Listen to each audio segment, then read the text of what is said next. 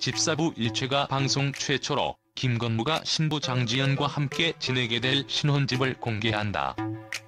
11월 3일 방송되는 SBS 집사부 일체에는 내년 1월 결혼을 앞둔 김건모가 게스트로 등장했다. 그는 대한민국 가요계를 대표하는 국민 가수로서 음악부터 인생 이야기까지 다양한 이야기를 나눌 예정이다. 이날 집사부 일체 멤버들은 스승 김건모와 함께 그의 어머니인 이선미 여사의 집에 깜짝 방문했다. 이선미 여사는 SBS 간판 예능 미운 우리 새끼를 대표하는 어머니로 집사부 일체를 통해 그간 말하지 못했던 김건모의 이야기를 털어놓을 예정이다. 이날 이선미 여사는 김건모가 한 번도 여자를 데려온 적이 없었다고 밝혔다.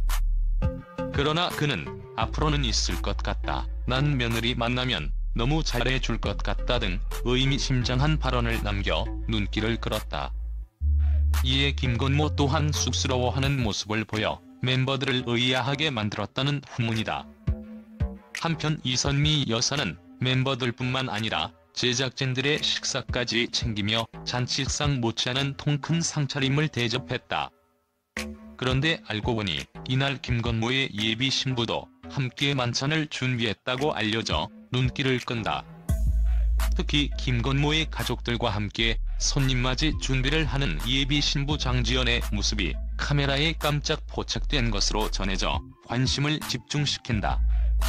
한편 이날 멤버들은 김건모의 이사집에도 방문했다. 새신랑 김건모의 새보금자리가 최초로 공개될 뿐만 아니라 김건모의 히트곡들도 들어볼 수 있다고 해 기대를 모은다. 멤버들은 김건모에게 각자 듣고 싶은 노래를 신청했고 김건모는 갑작스러운 부탁에도 흔쾌히 노래를 불러주었다.